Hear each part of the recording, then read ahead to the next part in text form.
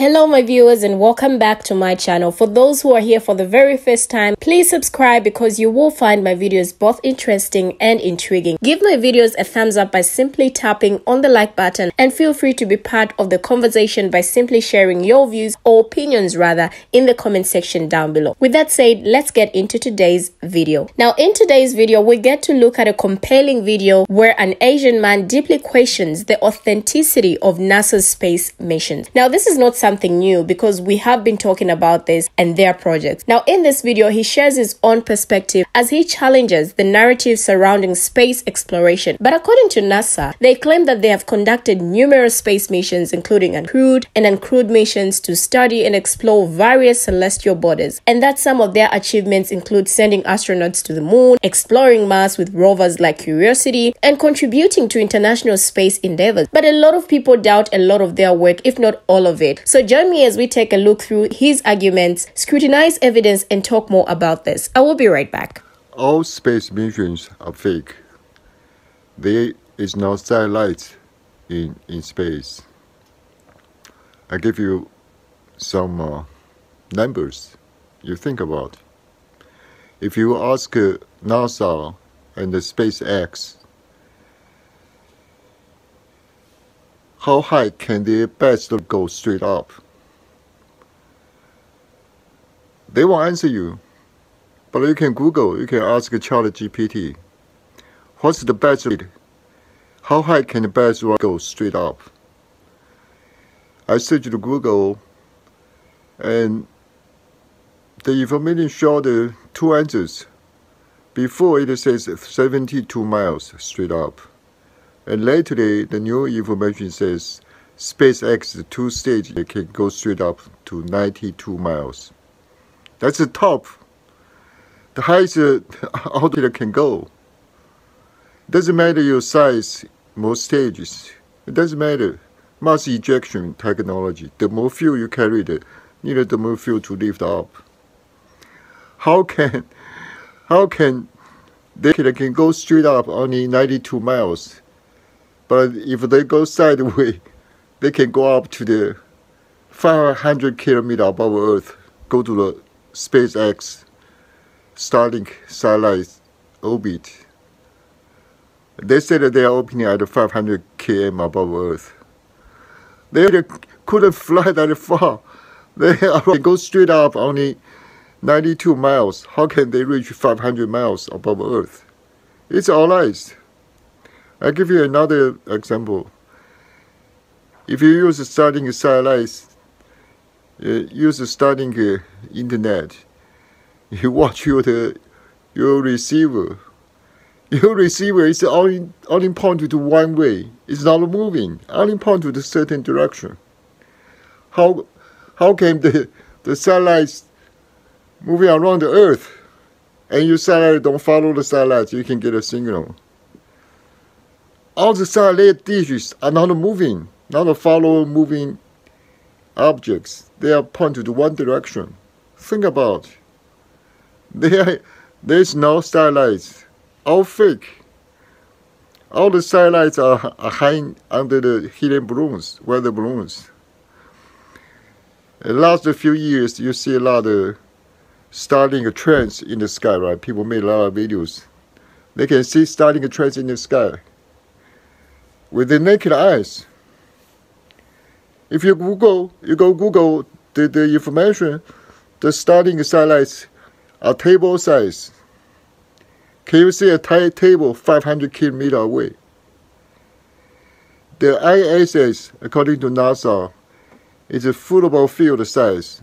It's 30,000 times, 20,000 times bigger than Starlink satellites. But orbit only 350 kilometers above Earth.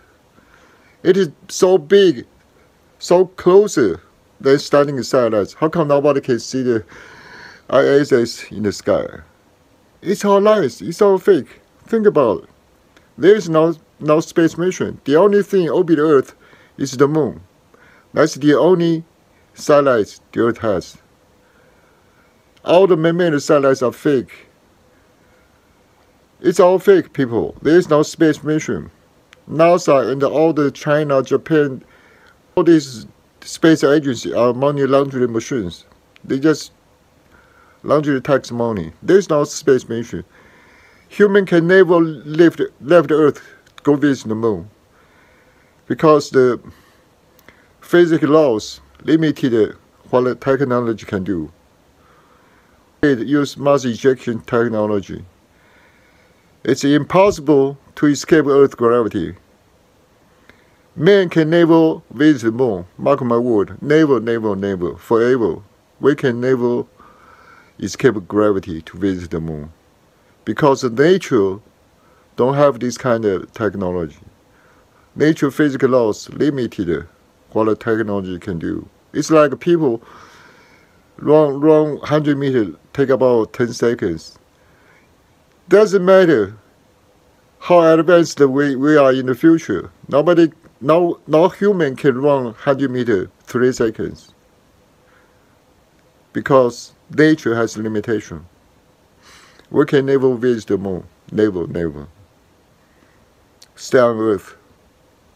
Be peaceful. Enjoy your life. Welcome back from that educative video. Let's now get into the heart of this discussion. You all will agree with me that he is not the only one, or the first one rather, to bring receipts on how fake NASA's space missions are. Now, it's almost 50 years now since NASA, otherwise known as not a space agency, or never a straight answer by people, allegedly sent six successful manned missions to the moon. For these past five decades, skeptics and critical thinkers have completely exposed and debunked every aspect of these supposed moon landings, including the disappearing original Apollo video, audio and telemetry data. Now, there are fake photographs, fake moon rocks, studio backdrops, studio props, studio lighting, studio wires, and edited videos thanks to mainstream media monopolies and heavy censorship. However, the majority of the population still believe men actually walked on the moon.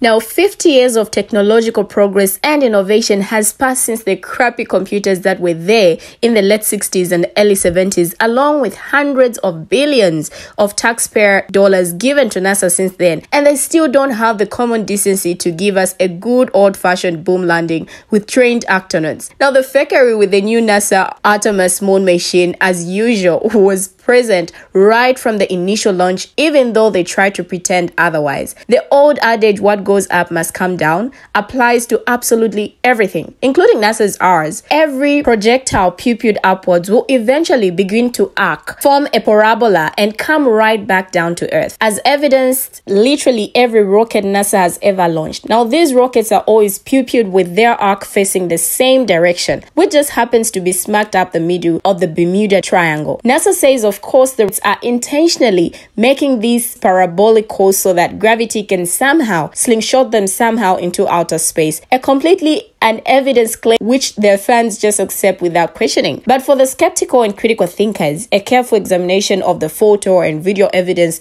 proves that this is impossible. Extremely impossible. Now, the extreme arc and angle compared to the relatively short distance these take on their parabolic course shows they are clearly coming right back down to Earth. Now, this is also apparent by the fact that shortly after the rockets are out of view, NASA always changes from showing live real footage to nothing but CGI for the rest of the broadcast. Anyone watching the NASA Artemis launch live would have noticed the stark contrast from the clear real footage being received for the first few minutes to the clearly fake CGI footage being shown for the next several hours. Now, nobody bothers to ask why we can't have multiple live videos facing all directions for the entire flight. Why do we only get whatever little snippet NASA decides to share rather than full and edited footage from multiple angles for their entire duration of the flight? Even if it cannot be broadcasted live, I feel the NASA tax paying public deserve to see the entire journey unedited from launch to landing. Of course, we have never and will never see such unedited footage, which would be simple to provide if you ask me if truly these machines were real. There are now clear evidence of NASA using numerous methods to mislead the public about astronauts being on the International Space Station. Now, we can only agree with what this Asian man was saying. I mean, he went all all in on NASA questioning the authenticity of their space missions, which a lot of people do actually. Now, he also went deep into his compelling argument, examining the evidence and sparking a conversation about the legitimacy of NASA's ventures into space. But what do you, my viewers, have to say about this video? Feel free to share your comments, views, opinions, everything on what you think about this video in the comment section down below. Thank you for watching and see you in my next video.